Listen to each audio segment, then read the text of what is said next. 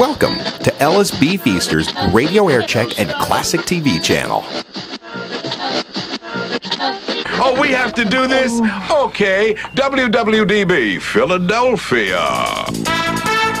From ABC News, I'm Joe Vaughn. Weekending in California, President Reagan came down from his mountaintop retreat near Santa Barbara for an awards ceremony Sunday evening in Los Angeles.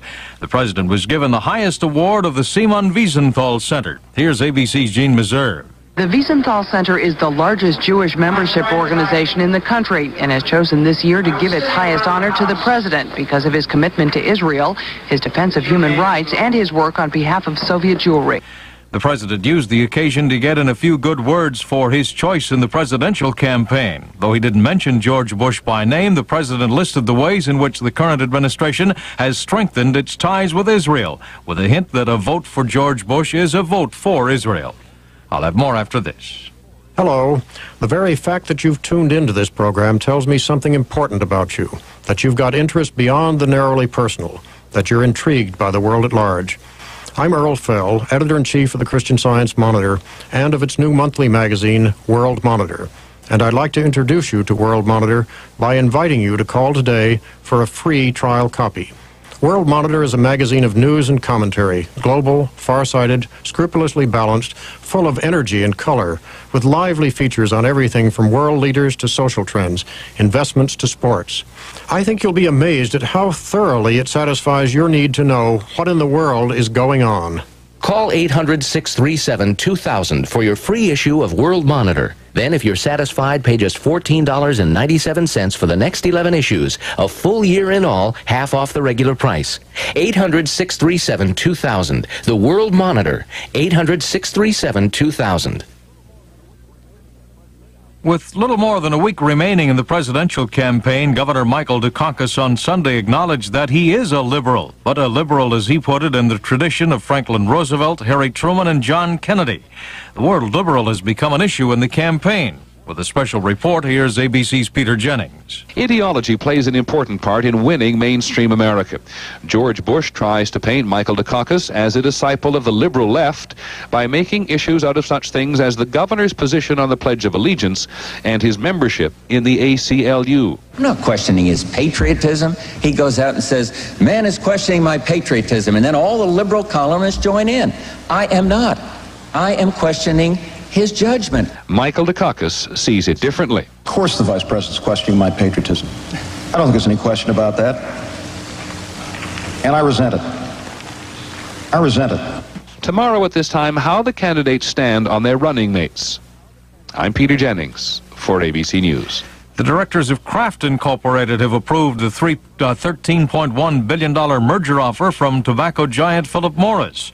The director of corporate communication for Philip Morris, Tom Rickey, expects good things to come from the merger. We have joint high hopes of um, uh, with General Foods and Kraft as our food businesses of being a major competitor not only in the U.S. but uh, worldwide with such foreign giants as Nestle and Unilever.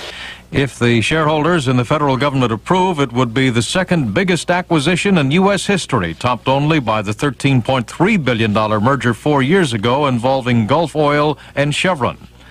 The Boston Globe says the return of the 65 mile per hour speed limit in many states has led to the uh, substantial increase in the number of traffic deaths.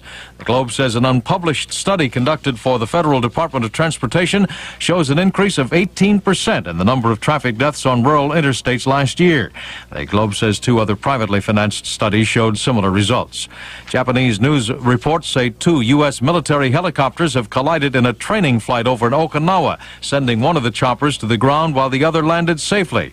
There are no reports of casualties as yet, but the Chinook helicopter is capable of carrying as many as 25 passengers and a crew of four.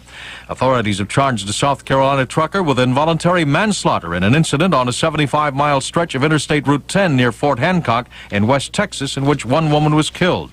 This is ABC News. A few sporadic incidents of arson were reported during the night in Detroit, but not the widespread flare-up of vandalism that has troubled that city on numerous occasions in the past. By midnight in Detroit, there were more than 370 reported arrests of teenagers for violating the citywide curfew on Saturday and Sunday night. A police department spokesman indicated for the most part it was quiet, due in part to the presence of about 10,000 adult volunteers who helped patrol the streets of Detroit to put a damper on youthful spirits. For the ABC Information Network, I'm Joe Vaughn. WWDB. Where did we go wrong as mothers? We tried to teach you to do right, but everywhere we go, there are bottles, cigarette butts, paper, and trash in the streets. We have to stop and think to ourselves. Is this the way we brought you up? Can you imagine if everybody littered? Now the city is growing, it's developing, it's moving forward. Now is the time to put an end to this mess. And you can do it. If you see litter, can it.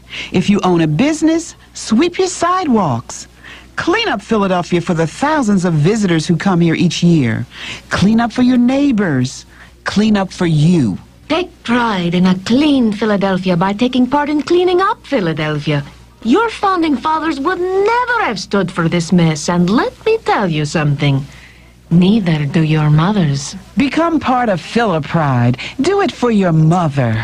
I love hiking in a forest. You know, Robin, forests are more than just great places to go hiking in. They are? Sure. Forests are homes to lots of different animals. We get wood from forests, and they help keep our air and water clean. Gosh. But our forests are threatened by development and people who don't treat them with respect. Yeah. To find out how you can help, write to Forest National Wildlife Federation. Washington, D.C. 20036. How'd you know that address? A Frog Scout's always prepared. Hmm.